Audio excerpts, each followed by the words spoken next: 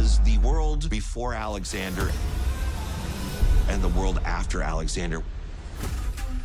In an age where men dominated the world, Cleopatra outsmarted them all.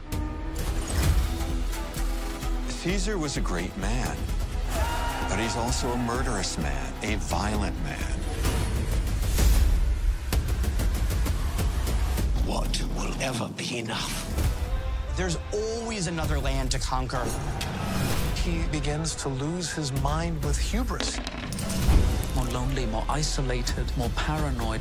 And now he just wants absolute power. They can't stop.